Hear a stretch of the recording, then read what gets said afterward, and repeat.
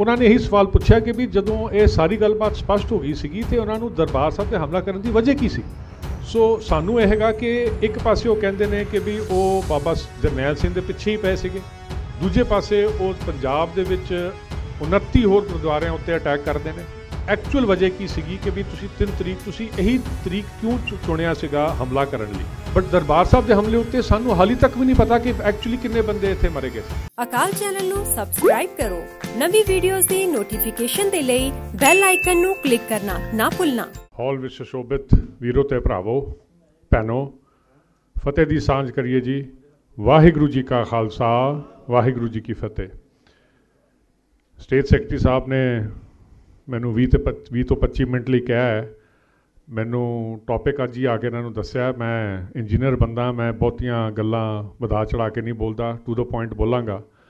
ਸੋ ਅਗਰ ਉਸ ਤੋਂ ਘੱਟ ਸਮਾਂ ਲਿੱਤਾ ਤੇ ਸ਼ਾਇਦ ਠੀਕ ਹੀ ਹੋਏਗਾ ਕਿਉਂਕਿ ਟਾਈਮ ਵੀ ਕਾਫੀ ਹੋ ਗਿਆ ਜਿਹੜੀ ਗੱਲ ਹੈ ਕਿ ਵੀ ਅਸੀਂ ਕਿਉਂ ਇਸ ਚੀਜ਼ ਨੂੰ ਠੀਕ ਹੈ ਸਿੱਖ ਇਸ ਜਿਹੜਾ ਇਹ ਜਿਹੜਾ ਹਾਦਸਾ ਹੋ ਇਹ ਜਿਹੜਾ ਇਹ ਜਿਹੜਾ ਹੋਇਆ ਹੈ ਜੂਨ 84 ਦਾ ਕੱਲੂਕਾਰਾ ਇਹਨੂੰ ਕਦੀ ਭੁੱਲੇਗਾ ਨਹੀਂ ਤੇ ਨਾ ਹੀ ਭੁੱਲਣਾ ਚਾਹੀਦਾ ਕਿਉਂਕਿ ਸਾਡੇ ਦਰਬਾਰ ਸਾਹਿਬ ਉੱਤੇ ਹਮਲਾ ਹੋਇਆ ਮਗਰ ਅਸੀਂ ਬਾਰ-ਬਾਰ ਸਰਕਾਰ ਨੂੰ ਡਾਇਲੌਗ ਵਿੱਚ ਲੈਣ ਦੀ ਕੋਸ਼ਿਸ਼ ਕਰਦੇ ਹਾਂ ਕਿ ਭਈ ਸਾਨੂੰ ਦੱਸੋ ਕਿ ਵਜ੍ਹਾ ਕੀ ਸੀਗੀ ਤੁਹਾਨੂੰ ਦਰਬਾਰ ਸਾਹਿਬ ਦੇ ਹਮਲਾ ਕਰਨ ਦੀ। ਜਦ ਕਿ ਕਈ ਜਰਨਲਿਸਟ ਨੇ ਲਿਖਿਆ ਹੈ, ਮਿਸਟਰ ਪੁਰੀ ਹੁੰਦੇ ਸੀਗੇ, ਜਿਨ੍ਹਾਂ ਦੇ ਆਈ ਥਿੰਕ ਬ੍ਰਦਰ ਸੀਐਨਸੀ ਸੀਗੇ ਆਰਮੀ ਦੇ ਵਿੱਚ, ਉਹ ਬਾਬਾ ਸਤ, ਜਰਨੈਲ ਸਿੰਘ ਨੂੰ ਮਿਲੇ ਸੀਗੇ ਹਫਤਾ ਪਹਿਲਾਂ। ਸੌਰੀ ਮਹੀਨਾ ਪਹਿਲਾਂ ਤੇ ਉਹਨਾਂ ਨੇ ਕਿਹਾ ਸੀਗਾ ਕਿ ਵੀ ਉਹਨਾਂ ਦੇ ਗੱਲਬਾਤ ਤੋਂ ਬਾਅਦ ਇਹ ਗੱਲ ਸਪਸ਼ਟ ਹੋ ਗਈ ਸੀਗੀ ਕਿ ਵੀ ਉਹ ਮਤਲਬ ਇੰਡੀਆ ਤੋਂ ਵੱਖ ਨਹੀਂ ਹੋਣਾ ਚਾਹੁੰਦੇ ਸੀਗੇ। ਉਹਨਾਂ ਦੇ ਮਨ ਵਿੱਚ ਕਦੀ ਨਹੀਂ ਸੀਗਾ ਕਿ ਵੀ ਆਪਾਂ ਇੱਥੋਂ ਵੱਖ ਹੋਣਾ ਮਗਰ ਉਹ ਕਹਿੰਦੇ ਸੀਗੇ, ਜੇ ਸਾਨੂੰ ਦੇਤਾ ਤੇ ਅਸੀਂ ਇਨਕਾਰ ਵੀ ਨਹੀਂ ਕਰਾਂਗੇ। ਸੋ ਉਹਨਾਂ ਨੇ ਇਹੀ ਸਵਾਲ ਪੁੱਛਿਆ ਸੀਗਾ ਕਿ ਜਦੋਂ ਇਹ ਸਾਰੀ ਗੱਲਾਂ ਬਾਤਾਂ ਹੋ ਗਈਆਂ ਸੀਗੀਆਂ, ਸਪਸ਼ਟ ਹੋ ਗਈਆਂ ਸੀਗੀਆਂ, ਹਾਲਾਂਕਿ ਉਹ ਕਹਿੰਦੇ ਸੀਗੇ, ਆਪਣੇ ਆਰਟੀਕਲ 'ਚ ਲਿਖਿਆ ਉਹਨਾਂ ਨੇ ਕਿ ਬਈ ਮੈਂ ਆਇਆ ਸੀਗਾ ਇੱਥੇ ਰੋਮੀ ਚੋਪੜਾ ਦੇ ਥਰੂ ਮੈਂ ਰਾਜੀਵ ਗਾਂਧੀ ਨੂੰ ਮਿਲਿਆ ਸੀਗਾ। ਤੇ ਜਦੋਂ ਮੈਂ ਇੰਟਰਵਿਊ ਤੋਂ ਬਾਅਦ ਮੈਂ ਵਾਪਸ ਗਿਆ, ਮੈਨੂੰ ਰਾਜੀਵ ਗਾਂਧੀ ਨਾਲ ਮਿਲਣ ਨਹੀਂ ਦਿੱਤਾ ਇਹਨਾਂ ਨੇ। ਸੋ ਇਹ ਇੱਕ ਮਿਲੀ ਪੁਲੀ ਭਗਤ ਸੀਗੀ ਸ਼ਾਇਦ, ਇਹਨਾਂ ਦੀ ਕਿ ਵੀ ਇੱਕ ਖੇਡ ਖੇਡੀ ਰਚੀ ਜਾਵੇ। ਤੇ ਉਹ ਕਹਿੰਦੇ ਸੀਗੇ ਕਿ ਵੀ ਉਹਨਾਂ ਨੇ ਇਹੀ ਸਵਾਲ ਪੁੱਛਿਆ ਕਿ ਵੀ ਜਦੋਂ ਇਹ ਸਾਰੀ ਗੱਲਬਾਤ ਸਪਸ਼ਟ ਹੋ ਗਈ ਸੀਗੀ ਤੇ ਉਹਨਾਂ ਨੂੰ ਦਰਬਾਰ ਸਾਹਿਬ ਤੇ ਹਮਲਾ ਕਰਨ ਦੀ ਵਜ੍ਹਾ ਕੀ ਸੀ?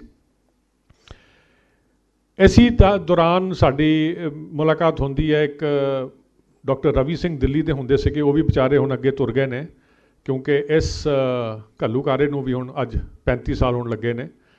ਸੋ ਉਹਨਾਂ ਨੇ ਵੀ ਇਹ ਗੱਲ ਕੀਤੀ ਸੀਗੀ ਕਿ ਵੀ ਮੈਂ ਹਫ਼ਤੇ ਪਹਿਲਾਂ ਉਹਨਾਂ ਨੂੰ ਮਿਲਿਆ ਸੀਗਾ ਤੇ ਇਹ ਰਘੁਨੰਦਨ ਲਾਲ ਭਾਟੀਏ ਦੀ ਨੌਲੇਜ ਵਿੱਚ ਗੱਲ ਸੀਗੀ ਤੇ ਵਾਪਸ ਆ ਕੇ ਉਹਨਾਂ ਨੇ ਕਿਹਾ ਕਿ ਵੀ ਉਹ ਮੰਨਦੇ ਸੀਗੇ ਕਿ ਵੀ ਭਿੰਨ- ਆਪਣੇ ਬਾਬਾ ਜਰਨੈਲ ਸਿੰਘ ਇੱਕ ਪੇਟਰੀਆਟ ਸੀਗੇ। ਤੇ ਅਗੇਨ ਹੀ ਵਨ ਉਹਨਾਂ ਨੇ ਵੀ ਇਹ ਗੱਲ ਕੀਤੀ ਕਿ ਵੀ देयरफॉर ਦਰਬਾਰ ਸਾਹਿਬ ਤੇ ਹਮਲਾ ਕਰਨ ਦੀ ਕੋਈ ਵਜ੍ਹਾ ਹੀ ਨਹੀਂ ਸੀਗੀ ਫਿਰ ਤੁਸੀਂ ਆ ਜਾਓ lieutenant general S K Sinha ਜਿਹੜੇ ਕਿ ਆਰਮੀ ਚੀਫ ਜਿਨ੍ਹਾਂ ਨੂੰ ਬਣਨਾ ਚਾਹੀਦਾ ਸੀਗਾ ਜਿਨ੍ਹਾਂ ਨੂੰ ਬਾਈਪਾਸ ਕਰਤਾ ਸੀਗਾ ਇੰਦਰਾ ਗਾਂਧੀ ਨੇ ਸ਼ਾਇਦ ਇਸੇ ਕਾਰਨ ਬਾਈਪਾਸ ਕੀਤਾ ਸੀਗਾ ਤੇ ਵੈਦਿਆ ਨੂੰ ਬਣਾਇਆ ਸੀਗਾ ਤੇ ਉਹਨਾਂ ਨੇ ਵੀ ਇੱਕ ਐਸਓਪੀ ਲਿਖਿਆ ਸੀ ਕਿ ਵੀ ਪਹਿਲੀ ਗੱਲ ਉਹਨਾਂ ਨੇ ਲਿਖੀ ਸੀਗੀ ਕਿ ਵੀ ਕਦੀ ਵੀ ਧਾਰਮਿਕ ਸਥਾਨ ਉੱਤੇ ਹਮਲਾ ਨਹੀਂ ਕਰਨਾ ਚਾਹੀਦਾ। ਮਗਰ ਅਗਰ ਸਮਝੋ ਕਿਸੇ ਕਾਰਨ ਮਜਬੂਰ ਹੋ ਕੇ ਮਤਲਬ ਕਰਨਾ ਪੈਂਦਾ ਹੈ, ਤੇ ਉਹਨਾਂ ਨੇ ਕੁਝ ਨਿਯਮ ਰੱਖੇ ਸੀਗੇ ਕਿ ਵੀ ਕੀ ਕੁਝ ਹੋਣਾ ਚਾਹੀਦਾ ਉਹਦੇ ਵਿੱਚ ਪਹਿਲਾਂ ਸੀਗਾ ਕਿ ਤੁਸੀਂ ਆਵਾਮ ਨੂੰ, ਤੁਸੀਂ ਲੋਕਾਂ ਨੂੰ ਅਗਾਹ ਕਰੋ ਕਿ ਵੀ ਤੁਹਾਨੂੰ ਕੀ ਮਜਬੂਰੀ ਪਈ ਹੈ ਕਿ ਵੀ ਤੁਸੀਂ ਇੱਥੇ ਜਾ ਕੇ ਹਮਲਾ ਕਰਨਾ ਹੈ। ਇਹ ਗੱਲ ਤੁਹਾਡੀ ਸਪਸ਼ਟ ਹੋ ਜਾਣੀ ਚਾਹੀਦੀ ਸੀ। ਲੋਕਾਂ ਦੇ ਵਿੱਚ ਦੇ ਮਸਟ ਰਿਅਲਾਈਜ਼ ਕਿ ਵੀ ਸਾਡੀ ਇੱਕ ਐਕਚੁਅਲੀ ਮਜਬੂਰੀ ਬਣ ਗਈ ਹੈ ਕਿ ਵੀ ਅਸੀਂ ਹਮਲਾ ਕਰਨਾ ਹੈ। ਦੂਜਾ ਉਹਨਾਂ ਨੇ ਕਿਹਾ ਸੀਗਾ ਕਿ ਇਹੋ ਜੀ ਥਾਂ ਦੇ ਉੱਤੇ ਕੋਈ ਅਗਰ ਹਮਲਾ ਹੁੰਦਾ ਵੀ ਹੈ ਤੇ it is not with tanks and guns blazing ਇਹ ਬੜਾ ਇੱਕ ਸਲੋ ਆਪਰੇਸ਼ਨ ਹੋਣਾ ਚਾਹੀਦਾ ਹੈ ਕਿਉਂਕਿ ਤੁਸੀਂ ਜਿਹੜਾ ਹੈਗਾ ਕੋਲੈਟਰਲ ਡੈਮੇਜ ਜਿਹੜੇ ਉਹਨੂੰ ਤੁਸੀਂ ਮਿਨੀਮਾਈਜ਼ ਕਰਨਾ ਚਾਹੁੰਦੇ ਹੋ। ਸੋ ਇੱਕ ਬੜਾ ਇੱਕ ਬੜਾ ਸਲੋ ਆਪਰੇਸ਼ਨ ਹੋਣਾ ਚਾਹੀਦਾ ਹੈ। ਇਹ ਨਹੀਂ ਕਿ ਵੀ ਤੁਸੀਂ ਤੋਪਾਂ ਤੇ ਟੈਂਕਾਂ ਨਾਲ ਅੰਦਰ ਚੜ ਜਾਓ ਤੇ ਗੋਲੀਆਂ ਨਾਲ ਤੁਸੀਂ ਤੇ ਬੰਬਾਂ ਨਾਲ ਤੁਸੀਂ ਉਡਾ ਦਿਓ ਤੇ ਕੋਈ ਪਰਵਾਹ ਨਹੀਂ ਕਿ ਵੀ ਕੌਣ ਰਸਤੇ 'ਚ ਆ ਗਿਆ, ਕੌਣ ਨਹੀਂ ਆਇਆ। ਸੋ ਉਹਨਾਂ ਨੇ ਇਹ ਵੀ ਗੱਲ ਲਿਖੀ ਸੀਗੀ। ਤੀਜੀ ਗੱਲ ਉਹਨਾਂ ਨੇ ਕਹੀ ਸੀਗੀ ਕਿ ਬਈ ਇਸੇ ਆਪਰੇਸ਼ਨ ਇਹੋ ਜਿਹੇ ਆਪਰੇਸ਼ਨ ਦੇ ਵਿੱਚ ਤੁਹਾਨੂੰ ਮੀਡੀਆ ਜ਼ਰੂਰ ਲੈ ਕੇ ਨਾਲ ਲਿਜਾਣੀ ਚਾਹੀਦੀ ਹੈ। ਕਿਉਂਕਿ ਉਹਦੇ ਨਾਲ ਫਿਰ ਕੋਈ ਸਪੈਕੂਲੇਟਿਵ ਚੀਜ਼ਾਂ ਨਹੀਂ ਰਹਿ ਜਾਂਦੀਆਂ। ਇਹ ਨਹੀਂ ਕਿ ਵੀ ਕੋਈ ਇੱਕ ਬੰਦਾ ਕੁਝ ਕਹੇਗਾ ਦੂਜਾ ਬੰਦਾ ਕੁਝ ਹੋਰ ਕਹੇਗਾ ਹੁਣ ਇਹ ਸਾਰੀ ਚੀਜ਼ਾਂ ਨੂੰ ਬਾਈਪਾਸ ਕੀਤਾ ਗਿਆ, ਜਦੋਂ ਦਰਬਾਰ ਸਾਹਿਬ ਤੇ ਉੱਤੇ ਹਮਲਾ ਕੀਤਾ ਗਿਆ। ਸੋ ਇਹ ਸਾਰੀ ਚੀਜ਼ਾਂ ਸਾਨੂੰ ਨਾ ਇਹ ਇੱਕ ਕਿਸਮ ਦਾ ਵਿਸ਼ਵਾਸ ਦਵਾਉਂਦੀਆਂ ਨੇ ਕਿ ਵਜ੍ਹਾ ਕੁਝ ਹੋਰ ਸੀਗੀ ਤੇ ਬਹਾਨਾ ਸਿਰਫ ਮਾਰਿਆ ਗਿਆ ਕਿ ਵੀ ਆਪਾਂ ਮਤਲਬ ਇੱਥੋਂ ਇਹਨਾਂ ਨੂੰ ਬਾਹਰ ਕੱਢਣਾ ਸੋ ਇਹ ਵੀ ਗੱਲ ਹੈਗੀ ਕਿ ਵੀ ਅਸੀਂ ਅੱਜ ਇੱਥੇ ਬੈਠੇ ਆ ਅਸੀਂ ਇਸ ਇਹਦੇ ਤੇ ਚਰਚਾ ਕਰ ਰਹੇ ਆ ਕੇਂਦਰੀ ਸ੍ਰੀ ਗੁਰੂ ਸਿੰਘ ਸਾਹਿਬ ਕਈ ਸਾਲਾਂ ਤੋਂ ਹਰ ਸਾਲ ਇਹਦੇ ਤੇ ਸੈਮੀਨਾਰ ਕਰਾਉਂਦੀ ਆਈ ਹੈ। ਇਸ ਸਾਲ ਵੀ ਅਸੀਂ ਪਰਸੋਂ ਵੀ ਕਰ ਰਹੇ ਆ ਸਿੱਖ ਫੋਰਮ ਦਿੱਲੀ ਵਾਲਾ ਉਹਨਾਂ ਨੇ ਪਹਿਲੀ ਤਰੀਕ ਨੂੰ ਸ਼ਨੀਵਾਰ ਨੂੰ ਉੱਥੇ ਦਿੱਲੀ ਕੀਤਾ ਹੈ। ਉਹ ਵੀ ਇਹਦੇ ਉੱਤੇ ਸੈਮੀਨਾਰ ਕਰਾਉਂਦੇ ਨੇ। ਕਈ ਚਿੱਠੀਆਂ ਲਿਖੀਆਂ ਗਈਆਂ ਨੇ, ਭਾਵੇਂ ਉਹ ਡਾਕਟਰ ਮਨਮੋਹਨ ਸਿੰਘ ਨੂੰ ਸੀਗੀਆਂ, ਭਾਵੇਂ ਉਹ ਨਰਿੰਦਰ ਮੋਦੀ ਨੂੰ ਸੀਗੀਆਂ ਕਿ ਬਈ ਇਹਦਾ ਜਿਹੜਾ ਇੱਕ ਟਰੁੱਥ ਕਮਿਸ਼ਨ ਹੈ, ਇਹਦਾ ਇੱਕ ਫੈਕਟ ਫਾਈਂਡਿੰਗ ਕਮਿਸ਼ਨ ਹੈ, ਉਹ ਜ਼ਰੂਰ ਬਿਠਾਓ ਤਾਂ ਕਿ ਸਿੱਖ ਜਗਤ ਨੂੰ ਪਤਾ ਲੱਗੇ ਕਿ ਵੀ ਐਕਚੁਅਲ ਵਜ੍ਹਾ ਕੀ ਸੀਗੀ ਕਿ ਵੀ ਤੁਸੀਂ 3 ਤਰੀਕ, ਤੁਸੀਂ ਇਹੀ ਤਰੀਕ ਕਿਉਂ ਚੁਣਿਆ ਸੀਗਾ ਹਮਲਾ ਕਰਨ ਲਈ। ਜਦ ਕਿ ਤੁਹਾਨੂੰ ਪਤਾ ਸੀ ਕਿ ਇੱਥੇ ਸ਼ਰਧਾਲੂ ਬਹੁਤ ਗਿਣਤੀ ਵਿੱਚ ਆਏ ਹੋਏ ਨੇ, ਜਿਹੜਾ ਜਦੋਂ ਕਿ ਗੁਰੂ ਸਾਹਿਬ ਦੇ ਦੇ ਆਪਣੇ ਪੰਜ, ਪੰਜਵੇਂ ਮਹਿਲ ਦੀ ਸ਼ਹੀਦੀ ਪੁਰਬ ਦਾ ਦਿਹਾੜਾ ਸੀਗਾ। ਸੋ ਇਹ ਸਾਰੀ ਜਿਹੜੀ ਚੀਜ਼ਾਂ ਨੇ ਨਾ, ਇਹ ਸਾਨੂੰ ਬਾਰ-ਬਾਰ ਦੁਖੀ ਕਰਦੀਆਂ ਨੇ ਤੇ ਤੇ ਅਸੀਂ ਇਹ ਇਹਨਾਂ ਦੇ ਜਦ ਤਾਈਂ ਸਾਡੇ ਕੋਲ ਜਵਾਬ ਨਹੀਂ ਮਿਲਣਗੇ, ਅਸੀਂ ਇਹੀ ਚੀਜ਼ਾਂ like I told you speculative ਤੌਰ ਦੇ ਉੱਤੇ ਅਸੀਂ ਸੋਚੀ ਜਾਵਾਂਗੇ ਕਿ ਵੀ ਇਦਾਂ ਇਦਾਂ ਸੋ ਮੈਂ ਸਮਝਦਾ ਸਰਕਾਰ ਦਾ ਫਰਜ਼ ਬਣਦਾ ਹੈ। ਹੁਣ ਜਦੋਂ ਅੰਗਰੇਜ਼ ਸਰਕਾਰ ਨੇ ਪਿਛਲੇ 3 ਸਾਲ 4 ਸਾਲ ਪਹਿਲਾਂ ਉਹਨਾਂ ਨੇ ਉਹ 30 ਸਾਲ ਤੋਂ ਬਾਅਦ ਇੱਕ ਡਾਕੂਮੈਂਟ ਜਾਰੀ ਕੀਤਾ ਜਾਂ ਮਤਲਬ ਡਿਕਲੇਅਰ ਕੀਤਾ ਜਿਹੜਾ 30 ਸਾਲ ਤੋਂ ਬਾਅਦ ਉਹ ਕਰਦੇ ਨੇ। ਕਿ ਉਹਨਾਂ ਨੇ ਦੱਸਿਆ ਕਿ ਵੀ ਜਦੋਂ ਆਪਰੇਸ਼ਨ ਸਨਡਾਊਨ ਦੇ ਵਿੱਚ ਉਹਨਾਂ ਨੇ ਕਿਦਾਂ ਭਾਰਤੀ ਸਰਕਾਰ ਨੂੰ ਦੱਸਿਆ ਸੀਗਾ ਕਿ ਵੀ ਅਸੀਂ ਕਿਦਾਂ ਆਪਰੇਸ਼ਨ ਕਰ ਸਕਦੇ ਹਾਂ, ਜਿੱਦਾਂ ਅੰਗਰੇਜ਼ ਕਰਦੇ ਸੀਗੇ। ਸੋ ਸਾਨੂੰ ਇਹ ਹੈਗਾ ਕਿ ਇੱਕ ਪਾਸੇ ਉਹ ਕਹਿੰਦੇ ਨੇ ਕਿ ਵੀ ਉਹ ਬਾਬਾ ਜਰਨੈਲ ਸਿੰਘ ਦੇ ਪਿੱਛੇ ਹੀ ਪਏ ਸੀਗੇ। ਦੂਜੇ ਪਾਸੇ ਉਹ ਪੰਜਾਬ ਦੇ ਵਿੱਚ 29 ਹੋਰ ਗੁਰਦੁਆਰਿਆਂ ਉੱਤੇ ਅਟੈਕ ਕਰਦੇ ਨੇ ਉਸੇ ਟਾਈਮ ਤੇ ਜਦੋਂ ਇਹ ਆਪਰੇਸ਼ਨ ਸਨਡਾਊਨ ਹੁੰਦਾ ਹੈ, ਜਿਹਦੇ ਵਿੱਚ ਉਸ ਟਾਈਮ ਬਾਬਾ ਜਰਨੈਲ ਸਿੰਘ ਆਪਣੇ ਤੁਹਾਡੇ ਅਕਾਲ ਤਖਤ ਸਾਹਿਬ ਵੀ ਨਹੀਂ ਆਉਂਦੇ। ਉਹ ਉੱਥੇ ਨੇ ਆਪਣੇ ਗੁਰੂ ਨਾਨਕ ਨਿਵਾਸ ਦੇ ਵਿੱਚ ਹੁੰਦੇ ਨੇ। ਸੋ ਉਸ ਟਾਈਮ ਉਹਨਾਂ ਨੇ ਕੁਝ ਨਹੀਂ ਕੀਤਾ। ਸੋ ਇਹ ਸਾਰੀ ਚੀਜ਼ਾਂ ਦੀ ਨਾ ਜਿਹੜੀ ਹੈਗੀ, ਇਹ ਇੱਕ ਸਾਜ਼ਿਸ਼ ਦੇ ਤੌਰ ਦੇ ਉੱਤੇ ਇਹ ਇਹ ਸਾਰੀ ਚੀਜ਼ਾਂ ਮੂਰੇ ਆਉਂਦੀਆਂ ਨੇ ਕਿ ਬਈ ਇਹਦੇ ਵਜ੍ਹਾ ਕੁਝ ਹੋਰ ਸੀਗੀ, ਬਹਾਨਾ ਸਿਰਫ ਇੱਥੇ ਲਾਤਾ ਸੀਗਾ ਕਿ ਵੀ ਆਪਾਂ ਇਹ ਕੰਮ ਕਰਨਾ ਹੈ। ਸੋ ਇਸ ਚੀਜ਼ ਨੂੰ ਆਪਾਂ ਜਿਹੜੇ ਹੈਗੇ, ਜਿਹੜੇ ਸਿੱਖ ਨੇ, ਜਿਹੜੇ ਜਾਗਦੇ ਸੁਚੱਜੇ ਸਿੱਖ ਨੇ, ਅਸੀਂ ਇਸ ਚੀਜ਼ ਨੂੰ ਕਦੀ ਭੁੱਲਣ, ਭੁੱਲਾਂਗੇ ਨਹੀਂ। ਹਾਂ, ਅਗਰ ਸਰਕਾਰ ਇਹਦੀ ਫੈਕਟ ਫਾਈਂਡਿੰਗ ਕਮਿਸ਼ਨ ਬਿਠਾ ਕੇ ਸਾਨੂੰ ਇਹਦਾ ਅਸਲੀ ਰੀਅਲ ਇੰਟੈਂਟ ਜਾਂ ਸਾਰੀ ਚੀਜ਼ਾਂ ਸਾਡੇ ਮੂਰੇ ਉਹ ਪੇਸ਼ ਹੋ ਜਾਂਦੀਆਂ ਨੇ, ਠੀਕ ਹੈ ਸਮ ਸੌਰਟ ਆਫ ਕਲੋਜ਼ਰ ਹੁਣ ਇਹ ਛੋਟੇ ਕਾਕੇ ਨੇ ਹੁਣ ਅੱਜ ਇੱਥੇ ਕਵਿਤਾ ਪੜ੍ਹੀ ਹੈ। ਕਿਸੇ ਨੇ ਮੈਨੂੰ ਕਿਹਾ ਸੀਗਾ ਕਿ ਵੀ ਉਹ ਬੁਲਬੁਲ ਬਰਾੜ ਉੱਤੇ ਜੀ ਇੰਗਲੈਂਡ ਦੇ ਵਿੱਚ ਹਮਲਾ ਹੋਇਆ ਸੀਗਾ ਕੁਝ ਸਾਲ ਪਹਿਲਾਂ। ਤੇ ਜਿਹੜੇ ਬੰਦੇ ਉੱਥੇ ਫੜੇ ਗਏ ਸੀਗੇ, ਤੇ ਜਦੋਂ ਉਹਦੇ ਬਾਰੇ, ਉਹਨਾਂ ਬਾਰੇ ਆਪਾਂ ਦੇਖਿਆ, ਤੇ ਇਹ ਨਿਕਲਿਆ ਕਿ ਵੀ 84 ਦੇ ਵਿੱਚ ਉਹਨਾਂ ਦੀ ਉਮਰ ਕਿਸੇ ਦੀ 4 ਸਾਲ ਸੀਗੀ, ਕਿਸੇ ਦੀ 5 ਸਾਲ ਸੀ। ਸੋ ਉਹਨਾਂ ਨੂੰ 84 ਜੂਨ ਬਾਰੇ ਐਕਚੁਅਲੀ ਚਸ਼ਮਦੀਨ ਵੈਸੇ ਕੁਝ ਨਹੀਂ ਪਤਾ ਸੀਗਾ but obviously through the times ਉਹਨਾਂ ਦੇ ਬਜ਼ੁਰਗਾਂ ਨੇ, ਉਹਨਾਂ ਦੇ ਹੋਰ ਸਾਥੀਆਂ ਨੇ ਉਹਨਾਂ ਨੂੰ ਦੱਸਿਆ ਕਿ ਵੀ ਸਾਡੇ ਨਾਲ ਕੀ ਐਕਚੁਅਲੀ ਵਾਪਰਿਆ। ਤੇ ਕਿਉਂਕਿ ਇਹਦਾ ਕਲੋਜ਼ਰ ਨਹੀਂ ਹੋਇਆ। ਨਾ ਕਲੋਜ਼ਰ ਦਾ ਮਤਲਬ ਇਹ ਨਹੀਂ ਕਿ ਵੀ ਸਿੱਖ ਭੁੱਲੇਗਾ।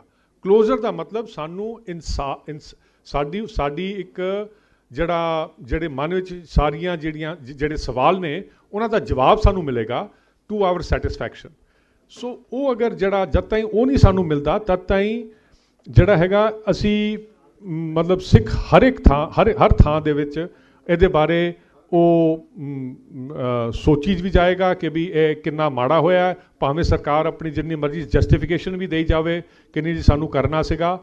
ਬਟ ਜਦ ਤਾਈਂ ਇਹਦੇ ਇਹਦੇ ਆਪਾਂ ਇਹਦਾ ਜਿਹੜਾ ਜਸਟਿਸ ਹੈ, ਸਾਨੂੰ ਨਹੀਂ ਮਿਲੇਗਾ। ਤਦ ਤਾਈਂ ਅਸੀਂ ਇਹ ਸੈਮੀਨਾਰ ਵੀ ਹੁੰਦੇ ਰਹਿਣਗੇ। ਇਸ ਤੋਂ ਬਾਅਦ ਜਿਹੜੇ ਸੈਮੀਨਾਰ ਹੋਣਗੇ, ਉਹ ਇਹਦੀ ਯਾਦਗਾਰੀ ਦੇ ਵਿੱਚ ਹੋ ਸਕਦੇ ਨੇ। ਕਿਉਂਕਿ ਜਿੱਦਾਂ ਮੈਂ ਪਹਿਲੀ ਗੱਲ ਕੀਤੀ ਹੈ ਕਿ ਸਿੱਖ ਇਸ ਘੱਲੂਕਾਰੇ ਨੂੰ ਕਦੀ ਭੁੱਲੇਗਾ ਵੀ ਨਹੀਂ।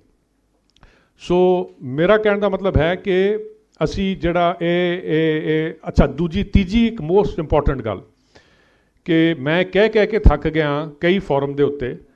ਸਰਕਾਰ ਦਾ ਵਾਈਟ ਪੇਪਰ ਕਹਿੰਦਾ ਕਿ ਮੇਰੇ ਖਿਆਲ 583 ਐਦਾਂ ਕੁਝ ਸਾਰੇ ਬੰਦੇ, ਇਹ ਸਾਰੇ ਜਿਹੜਾ ਦਰਬਾਰ ਸਾਹਿਬ ਤੇ ਹਮਲਾ ਹੋਇਆ ਸੀ, ਸਾਰੇ ਮਰੇ ਮਰੇ ਸੀਗੇ ਇਨਕਲੂਡਿੰਗ ਜਿਹੜੇ ਇਹਨਾਂ ਦੇ ਆਪ ਦੇ ਫੌਜੀ ਮਰੇ ਸੀ। ਚਾ ਆਪਣਾ ਸੀਗਾ ਤੁਹਾਡਾ ਮਾਰਕ ਟੱਲੀ, ਉਹ ਲਿਖਦਾ ਜੀ 4000 ਬੰਦੇ। ਚਾਂਦ ਜੋਸ਼ੀ ਲਿਖਦਾ ਸੀਗਾ 5000 ਬੰਦੇ। ਲੌਂਗੋਵਾਲ ਕਹਿੰਦਾ ਸੀਗਾ 10000 ਬੰਦੇ। ਹੁਣ ਕਿੰਨੇ ਕੁ ਬੰਦੇ ਸਾਡੇ ਉੱਥੇ ਮਰੇ ਨੇ, ਇਹ ਵੀ ਸਾਨੂੰ ਹਾਲੀ ਤੱਕ ਹਾਲੀ ਤੱਕ ਆਈ ਡੂ ਨਾਟ ਥਿੰਕ ਕਿ ਅਸੀਂ ਵੀ, ਮੈਂ ਮਾਫ ਕਰਿਓ, ਸਿੱਖ ਕੌਮ ਵੀ ਇਸ ਗੱਲ ਦੇ ਲਈ ਗੁਨਾਹਗਾਰ ਹੋਏਗੀ। ਹਾਲੀ ਤੱਕ ਵੀ ਆਈ ਡੋਨਟ ਥਿੰਕ ਅਸੀਂ ਕੋਈ ਲਿਸਟ ਤਿਆਰ ਕੀਤੀ ਹੈ। ਜਿੱਦਾਂ ਕਿ ਨਵੰਬਰ ਜਿਹੜਾ ਕਤਲੇਆਮ ਹੋਇਆ ਐਟਲੀਸਟ ਉੱਥੇ ਦਿੱਲੀ ਵਾਲਿਆਂ ਨੇ ਪੂਰੀ ਲਿਸਟ ਤਿਆਰ ਕਰਕੇ ਕਹਿਤਾ ਕਿ ਵੀ 2700 ਵਟਐਵਰ 83 ਜਾਂ 33 ਬੰਦੇ ਪੂਰੇ ਨਾਂ ਦੇ ਨਾਲ ਉਹਨਾਂ ਨੇ ਤਿਆਰ ਕਰਤੇ ਕਿ ਵੀ ਇਹ ਬੰਦੇ ਉੱਥੇ ਮਾਰੇ ਗਏ ਸੀਗੇ। ਬਟ ਦਰਬਾਰ ਸਾਹਿਬ ਦੇ ਹਮਲੇ ਉੱਤੇ ਸਾਨੂੰ ਹਾਲੀ ਤੱਕ ਵੀ ਨਹੀਂ ਪਤਾ ਕਿ ਐਕਚੁਅਲੀ ਕਿੰਨੇ ਬੰਦੇ ਇੱਥੇ ਮਾਰੇ ਗਏ ਸੀ ਮਾਰੇ ਗਏ ਸੀਗੇ। ਸੋ ਮੈਂ ਉਸ ਟਾਈਮ ਦੇ ਵਿੱਚ ਵੀ ਆਈ ਰਿਮੈਂਬਰ ਆਈ ਥਿੰਕ ਉਸ ਟਾਈਮ ਜਿਹੜੇ ਮੁੱਖ ਸੇਵਾਦਾਰ ਸੀਗੇ ਕਾਲ ਤੱਕ ਸਾਹਿਬ ਦੇ, ਉਹਨਾਂ ਨੇ ਐਸਜੀਪੀਸੀ ਮੈਂਬਰਾਂ ਨੂੰ ਕਿਹਾ ਸੀਗਾ ਕਿ ਵੀ ਆਪਣੇ ਆਪਣੇ ਇਲਾਕਿਆਂ ਤੋਂ ਤੁਸੀਂ ਆਪਣੇ ਪਿੰਡਾਂ ਤੋਂ ਤੁਸੀਂ ਲੈ ਕੇ ਆਓ ਲਿਸਟ ਕਿ ਕਿਹੜੇ ਬੰਦੇ ਉੱਥੋਂ ਗਾਇਬ ਨੇ, ਤਾਂ ਕਿ ਸਾਨੂੰ ਕੋਈ ਪਤਾ ਤਾਂ ਲੱਗੇ। ਮੇਰਾ ਖਿਆਲ ਹੈ if my memory serves me correct ਮੇਰਾ ਖਿਆਲ ਹੈ ਕਿ ਸਿਰਫ ਇੱਕ ਮੈਂਬਰ ਨੇ ਲਿਆ ਕੇ ਉਹ ਲਿਸਟ ਦਿੱਤੀ ਸੀ ਸੋ ਦੇਖੋ, ਅਸੀਂ ਵੀ ਕਿੱਥੇ ਖੜੇ ਆ ਸੋ ਇਹ ਇਹ ਜਿਹੜੀ ਗੱਲਾਂ ਨੇ ਨਾ, ਇਹਦੇ ਵਿੱਚ ਸਾਨੂੰ ਵੀ ਹੁਣ ਤੇ ਮੈਂ ਇਹ ਬੇਨਤੀ ਕਰਾਂਗਾ ਕਿ ਚਲੋ, ਹੁਣ ਜਿਹੜੇ ਨਵੇਂ ਮੁੱਖ ਸੇਵਾਦਾਰ ਲੱਗੇ ਨੇ ਅਕਾਲ ਤਖਤ ਸਾਹਿਬ ਦੇ ਯੰਗਸਟਰ ਨੇ, ਪੜ੍ਹੇ ਲਿਖੇ ਨੇ ਉਹਨਾਂ ਦਾ ਸਾਡੇ ਥੋੜਾ ਜਿਹਾ ਸੰਪਰਕ ਹੋਇਆ ਤੇ ਮੈਂ ਤੇ ਬੇਨਤੀ ਕਰਾਂਗਾ ਕਿ ਸਾਡੂ ਇਹ ਇੱਕ ਮੰਗ ਹੋਣੀ ਚਾਹੀਦੀ ਹੈ ਕਿ ਉੱਥੋਂ ਇੱਕ ਹਾਲੀ ਵੀ ਦੇਖੋ 35 ਸਾਲ ਹੋਏ ਨੇ ਕੁਝ ਲੰਬਾ ਸਮਾਂ ਹੋ ਗਿਆ ਹੈ ਨੋ ਡਾਊਟ ਬਟ ਹਾਲੀ ਵੀ ਇੰਨਾ ਇੰਨਾ ਲੰਬਾ ਨਹੀਂ ਹੋਇਆ। ਹਾਲੀ ਵੀ ਪਿੰਡਾਂ ਤੋਂ, ਸਰਪੰਚਾਂ ਤੋਂ ਤੁਸੀਂ ਪਤਾ ਕਰ ਸਕਦੇ ਹੋ ਕਿ ਭਾਈ ਮਈ ਤੋਂ ਲੈ ਕੇ ਲੈਟ ਅਸ ਸੇ 15 ਮਈ ਤੋਂ ਲੈ ਕੇ ਤੇ ਐਂਡ ਜੂਨ ਤੱਕ ਤੁਹਾਡੇ ਪਿੰਡਾਂ ਤੋਂ ਜਾਂ ਐਂਡ ਜਾਂ ਮਿਡਲ ਜੁਲਾਈ ਤੱਕ 1984 ਤੱਕ ਤੁਹਾਡੇ ਕਿਹੜੇ-ਕਿਹੜੇ ਬੰਦੇ ਗਾਇਬ ਸੀਗੇ? ਤੁਸੀਂ ਆ ਕੇ ਲਿਸਟਾਂ ਤਾਂ ਦਿਓ ਤਾਂ ਕਿ ਸਾਨੂੰ ਕੁਝ ਪਤਾ ਤਾਂ ਲੱਗੇ ਕਿ ਵੀ ਸਾਡੇ ਕਿੰਨੇ ਬੰਦੇ ਇਸ ਅਟੈਕ ਦੇ ਵਿੱਚ ਮਾਰੇ ਗਏ ਸੀਗੇ। ਇਹ ਵੀ ਸਾਨੂੰ ਇੱਕ ਇੱਕ ਉਪਰਾਲਾ ਕਰਨਾ ਚਾਹੀਦਾ ਤੇ ਅਗਰ ਇਥੋਂ ਸਾਰੇ ਇਸ ਗੱਲ ਨਾਲ ਮਨਜ਼ੂਰ ਹੋਣ ਤੇ ਅਸੀਂ ਗਿਆਨੀ ਹਰਪ੍ਰੀਤ ਸਿੰਘ ਨੂੰ ਵੀ ਬੇਨਤੀ ਕਰਦੇ, ਕਰਾਂਗੇ ਕਿ ਵੀ ਤੁਸੀਂ ਇਹ ਇਥੋਂ give this order out from here ਕਿ ਵੀ ਹਰ ਇੱਕ ਬੰਦਾ, ਹਰ ਇੱਕ ਜਿਹੜਾ ਪਿੰਡ ਪਿੰਡ ਵਾਲਾ ਸਰਪੰਚ ਹੈ, ਉਹ ਆ ਕੇ ਇਹ ਚੀਜ਼ ਨੂੰ ਐਟਲੀਸਟ ਕਰੇ। ਇਹਦੇ ਨਾਲ ਨਾਲ ਮੈਂ ਗੱਲ ਪਹਿਲਾਂ ਵੀ ਕੀਤੀ ਸੀਗੀ ਮਨਜੀਤ ਜੀ ਕੇ ਨਾਲ ਦਿੱਲੀ, ਕਿ ਮੈਂ ਕਿਹਾ ਸਾਡੇ ਕੋਲ ਤੇ ਚਲੋ ਸਰਮਾਇਆ ਨਹੀਂ ਹੁੰਦਾ, ਤੁਹਾਡੇ ਕੋਲ ਤੇ ਪੰਥ ਦਾ ਪੈਸਾ ਹੁੰਦਾ ਹੈ। ਤੁਸੀਂ ਨਾਟ ਓਨਲੀ ਪੰਜਾਬ ਦੇ ਵਿੱਚ, ਕਿਉਂਕਿ ਦੇਖੋ ਉਸ ਟਾਈਮ ਜਿੱਦਾਂ ਮੈਂ ਪਹਿਲਾਂ ਗੱਲ ਕੀਤੀ ਹੈ ਕਿ ਉਸ ਟਾਈਮ ਗੁਰੂ ਸਾਹਿਬ ਦੀ ਦਾ ਸ਼ਹੀਦੀ ਪੁਰਬ ਸੀਗਾ, ਬੰਦੇ ਆਊਟ ਆਫ ਪੰਜਾਬ ਸਟੇਟ ਤੋਂ ਵੀ ਆਏ ਹੋਣਗੇ। ਮੈਂ ਕਿਹਾ ਉਹਨਾਂ ਦੀ ਜਿਹੜੇ ਲੋਕਲ ਉਹਨਾਂ ਦੇ ਸਟੇਟਸ ਦੇ ਜਿਹੜੀਆਂ ਲੋਕਲ ਡੇਲੀਜ਼ ਨੇ ਉੱਥੇ ਵੀ ਤੁਸੀਂ ਇਸ਼ਤਿਹਾਰ ਕਢਾ ਦਿਓ। ਸੇਮ ਲਾਈਨਸ ਦੇ ਵਿੱਚ ਕਿ ਬਈ ਸਾਨੂੰ ਉੱਥੋਂ ਵੀ ਖਬਰ ਆ ਜਾਏ ਕਿ ਵੀ ਕਿਹੜੇ ਕਿਹੜੇ ਬੰਦੇ ਉਸ ਸੂਬੇ ਤੋਂ ਆਏ ਸੀਗੇ ਜਿਹੜੇ ਕਿ 15 ਮਈ ਤੋਂ ਲੈ ਕੇ ਤੇ ਐਂਡ ਜੂਨ ਤੱਕ ਆ ਵਾਪਸ ਨਹੀਂ ਪਹੁੰਚੇ 84 ਤੱਕ। ਸੋ ਸਾਨੂੰ ਇੱਕ ਕੰਪੋਜ਼ਿਟ ਲਿਸਟ ਬਣ ਜੂਗੀ। ਸੋ ਇਹ ਵੀ ਗੱਲ ਸਾਨੂੰ ਕਰਨੀ ਚਾਹੀਦੀ ਹੈ। ਇਹ ਤੇ ਮੇਰਾ ਖਿਆਲ ਹੈ, ਚਲੋ ਸਰਕਾਰ ਕਰੇ ਨਾ ਕਰੇ, ਇਹ ਤੇ ਸਾਡੂ ਸਿੱਖ ਕੌਮ ਦਾ ਫਰਜ਼ ਬਣਦਾ ਹੈ ਕਿ ਅਸੀਂ ਇਹ ਲਿਸਟ ਤਿਆਰ ਕਰੀਏ। ਤੇ ਇਹ ਨਾ ਅਸੀਂ ਮੰਨੀਏ ਕਿ ਸਿਰਫ 583 ਵਿੱਚ ਇਨਕਲੂਡਡ ਆਈ ਥਿੰਕ 80 80 ਜਾਂ 85 ਪਤਾ ਨਹੀਂ ਫੌਜੀ ਬੰਦੇ, ਕਿ ਵੀ ਇੰਨੇ ਕੀ ਸਿਰਫ ਬੰਦੇ ਸਾਰੇ ਮਾਰੇ ਸੀਗੇ, ਕਿਉਂਕਿ ਲੋਕਾਂ ਦਾ ਕਹਿਣਾ ਹੈਗਾ ਕਿ ਇਸ ਤੋਂ ਵੱਧ ਬੰਦੇ ਇੱਥੇ ਸ਼ਹੀਦ ਹੋਏ ਸੀਗੇ। ਸੋ ਇਹ ਸਾਰੇ ਜਿਹੜੀ, ਇਹ ਸਾਰੀਆਂ ਜਿਹੜੀਆਂ ਚੀਜ਼ਾਂ ਨੇ ਆਈ ਹੋਪ ਤੁਸੀਂ ਤੁਹਾਨੂੰ ਇਹਦੇ ਬਾਰੇ ਹੋਰ ਥੋੜਾ ਜਿਹਾ ਚਾਨਣਾ ਹੋਇਆ, ਜਿਹੜਾ ਕਿ ਮੈਂ ਗੱਲ ਕੀਤੀ ਹੈ ਕਿ ਵੀ ਅਸੀਂ ਕਿਉਂ ਚਾਹੁੰਦੇ ਹਾਂ ਕਿ ਇੱਥੇ ਕਲੋਜ਼ਰ ਹੋਵੇ? ਅਸੀਂ ਕਿਉਂ ਚਾਹੁੰਦੇ ਹਾਂ ਕਿ ਵੀ ਇੱਥੇ ਇੱਕ ਫੈਕਟ ਫਾਈਂਡਿੰਗ ਕਮਿਸ਼ਨ ਬਿਠਾਇਆ ਜਾਵੇ? ਕਿਉਂਕਿ ਜਦ ਤੱਕ ਇਹ ਨਹੀਂ ਹੋਊਗਾ, ਸਿੱਖ ਜਿਹੜਾ ਹੈਗਾ, ਉਹ ਉਹ ਉਹ ਇਸ ਗੱਲ ਤੋਂ ਮਤਲਬ ਮੈਂ ਨਹੀਂ ਕਹਿੰਦਾ ਕਿ ਵੀ ਅਗਰ ਇਹ ਹੋ ਵੀ ਜਾਂਦਾ ਹੈ ਤੇ ਇਸ ਗੱਲ ਨਾਲ ਉਹਨੂੰ ਕੋਈ ਸੁਲੇਸ਼ ਨਹੀਂ ਪਹੁੰਚੇਗਾ ਬਟ ਇੱਕ ਕਿਸਮ ਦਾ ਉਹਨੂੰ ਇਹ ਲੱਗੇਗਾ ਕਿ ਵੀ ਚਲੋ ਸਾਡਾ justice has been serve to us to some extent ਭੁੱਲਾਂਗੇ ਨਹੀਂ ਅਸੀਂ, ਨਾ ਹੀ ਭੁੱਲਣਾ ਚਾਹੀਦਾ ਹੈ। ਸੋ ਇੰਨੀਆਂ ਕ ਕਹਿੰਦਾ ਹੋਇਆ, ਮੈਂ ਸ਼ਮਾ ਦਾ ਜਾਤਕ ਹਾਂ। ਅਗਰ ਕੋਈ ਭੁੱਲ ਚੁੱਕ ਹੋਈ ਹੋਏ, ਸ਼ਮਾ ਦਾ ਜਾਚਕ ਹਾਂ। ਵਾਹਿਗੁਰੂ ਜੀ ਕਾ ਖਾਲਸਾ, ਵਾਹਿਗੁਰੂ ਜੀ ਕੀ ਫਤਿਹ।